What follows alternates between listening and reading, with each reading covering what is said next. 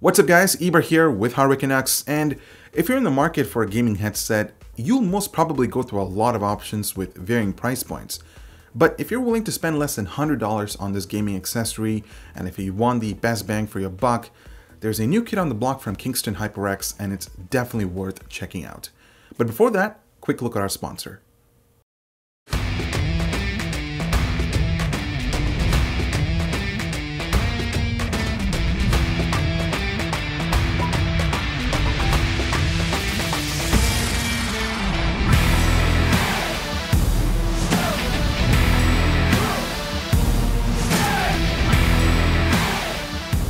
This could be you. Every time you turn on your PC. Super chill CPU, happy you.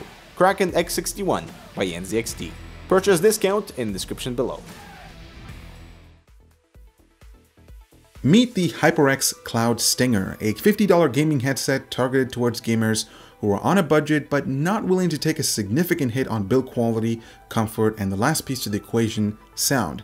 This happens to be the lowest priced offering in the Cloud headset lineup, but that doesn't mean you should ignore it.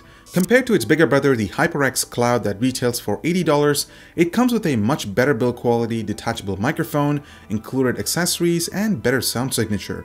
The Cloud 2 gaming headset that retails for $100 just adds 7.1 virtual surround sound, which I'm not a fan of generally.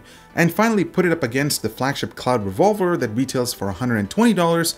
The only improvement would be a much better sounding microphone compared to the original Cloud. But can the Stinger offer some of the best elements found on other headsets? We'll find out.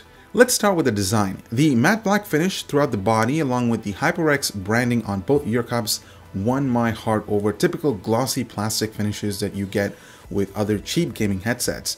Albeit, the build quality is pretty darn impressive for the price. Uh, it's made out of hard plastic material that complements a much lighter body, but the durability factor is minimal, so be aware of that. It won't survive many temper tantrums after you've been killed in your favorite FPS.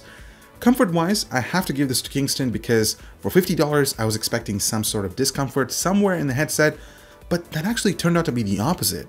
The signature memory foam has plenty of cushion to prevent your ears from making contact with the drivers, plus the headband also features appropriate padding, and given the closed back style, I was genuinely satisfied wearing this for long gaming sessions and even watching content. The clamping force was also minimal, and I didn't notice head fatigue during my use, which is so much appreciated. You'll find adjustable steel sliders to adjust the headband depending on the size of your head, the steps are well defined and tight enough to prevent slipping.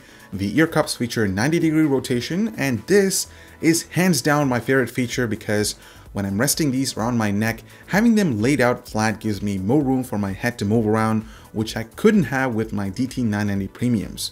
The microphone arm uses a swivel type mechanism with a little bit of flexibility to move around, once you swivel it all the way up, it mutes the mic, which is a smart feature in my opinion, and we'll get to the testing shortly. Do note that it's non-removable. If you're wondering about adjusting volume, don't be afraid, Kingston has built an intuitive volume slider on the rear side of the right ear cup. It's a much better solution over standard inline volume controls that I'm typically not a fan of. The cable is non-removable and it's not braided, but Kingston has reinforced it well enough on the headset to accept rough use. Also, you won't notice much of the reverberations found on the Revolver's braided cable, so basically you won't hear brushes against anything when you're using the Stinger. The cable that comes with the headset is 1.3 meters, which is pretty short if you decide to route it behind your PC, but they do include an extension cable that splits the stereo and mic plugs, and it gives you an extra 1.7 meters, so that solves the issue. Kingston has also targeted the Stinger for multi-platform compatibility, which means you should be able to hook this up to your Xbox One or PS4 controller, or any mobile device that accepts a 3.5mm headphone slash mic input. Once again, pretty smart approach for making the included cable shorter. The microphone quality is surprisingly good for the price. Uh, I'm actually recording this directly to my phone so you can get a rough idea of how it sounds like on a mobile device. Uh, it doesn't sound too harsh or muffled, whereas it's more clear and audible, so the person on the other end won't have an issue hearing you. They have built in some uh, noise cancelling characteristics and it works as it should. I have my office fans along with my system fans running in the background and it does a pretty good job isolating them. Let's move on to sound quality and right off the bat I was not expecting such great sound quality coming out of these headphones especially since they cost $50. There's more emphasis on the bass which is perfect if you're into FPS titles. I played Overwatch and the newly released Gears of War 4 for PC and I'll admit I felt like I was immersed in the game because of the wide soundstage and extra low end power from gunshots. The high ends were fine-tuned for casual music listening, but the mids were taken over by the low ends. This is strictly a gaming headset, and once again, I can't emphasize how great it sounds for the price.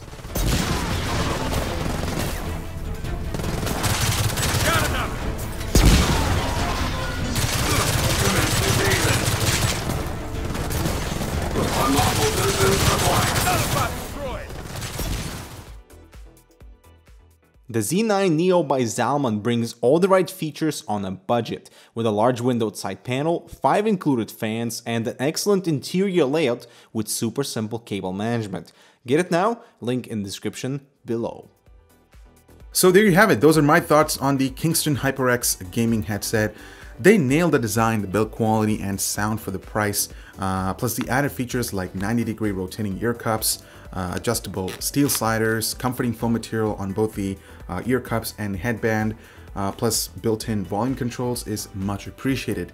Uh, they don't have any built-in lighting controls, which is totally fine with me because I'm not going to be looking at them while gaming. The multi-platform support is a bonus feature and for those of you looking for a pair of gaming headsets that can go along well with your Xbox One or PS4 controller, should consider this.